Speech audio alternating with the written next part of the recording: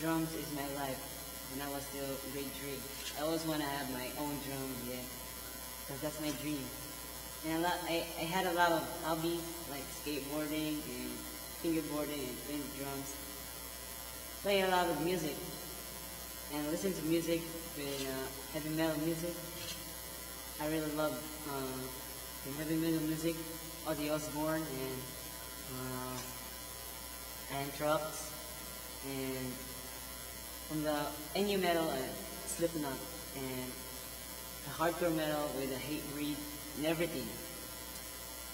It's all about metal. My life is about metal. But I, I play a lot of kinds of genres like classic rock and hard rock.